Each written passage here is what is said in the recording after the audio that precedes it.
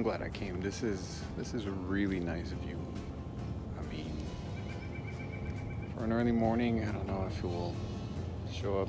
Yeah, the light behind, but still, I'm glad I came. And there's nobody. Looks like I'm the only person here. On the other hand, I have to pay attention where I put my feet because there's a cliff there and it is deep. Like very, very deep.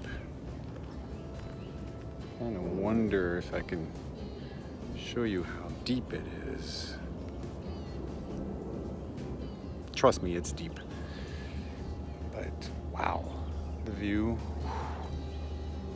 Today's perfect weather.